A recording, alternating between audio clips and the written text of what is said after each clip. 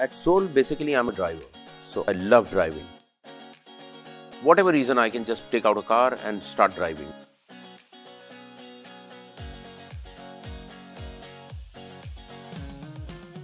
Wow, sir. Everything fit in. Can I drive then? No. Ready? Yep. Once we reach there, we'll have to just figure out um, whether we can do this one here in this uh, Sambhar Lake or we should go to Rann of Kutch.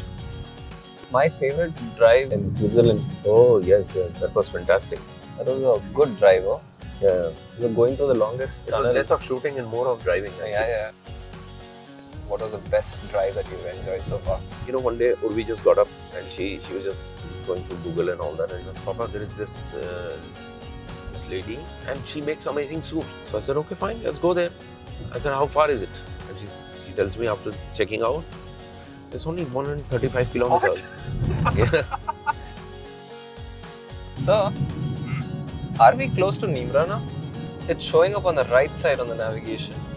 I think we should do a little detour.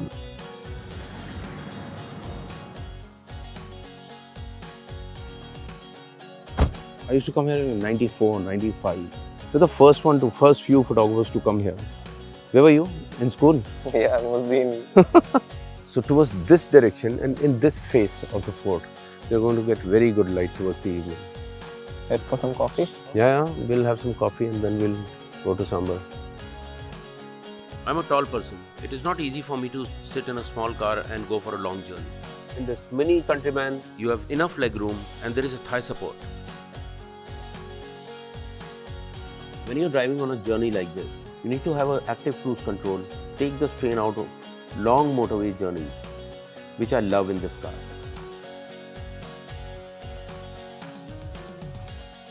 Nitin, check out the sunset. This is beautiful. This is amazing, huh? Yeah.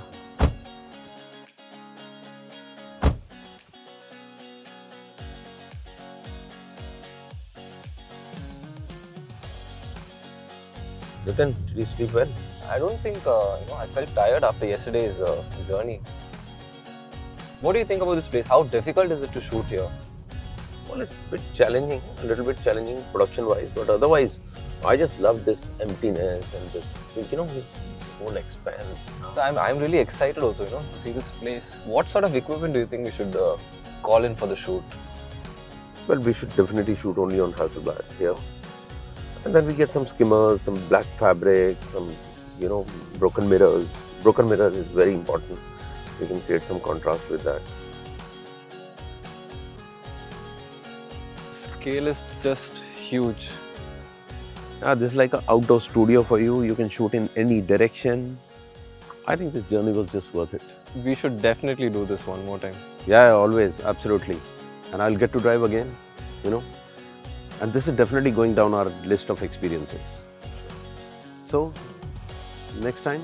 I'll, I'll, I'll drive, No, please. you're not driving. You're not I'm driving. driving. No, no, not at all.